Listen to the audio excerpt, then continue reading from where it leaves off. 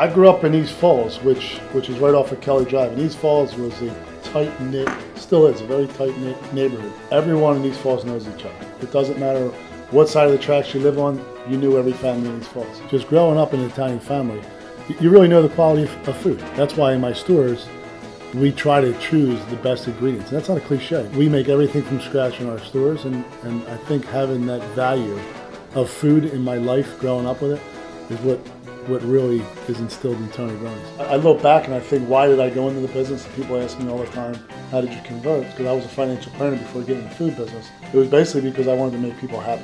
When I was a kid, in my house, my mom would be up every Sunday morning making her marinara sauce and meatballs and sausage and braciole.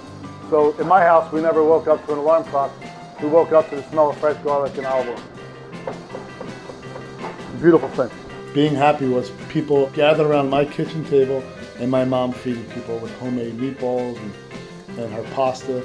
And that's what made her happy. She didn't sit down until she knew everyone was eating and everyone was enjoying themselves. We're not a restaurant, we're not a, a cafe or a trattoria, we're the neighborhood pizzeria. And I wanted to instill that in my company, so everywhere I open, I'm in neighborhoods. I wanted to have that value because it, it stuck with me. I just, I, you know, I love the neighborhood and I love the values of families.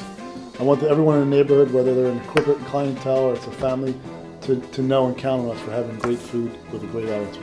And I, I got to tell you, I enjoy it. I love serving people. I love making pizza. It's a pleasure. That's where I'm most happy at. I just love making pizza. It's fun. They say if you love what you do, it's not work. To me, it's not work.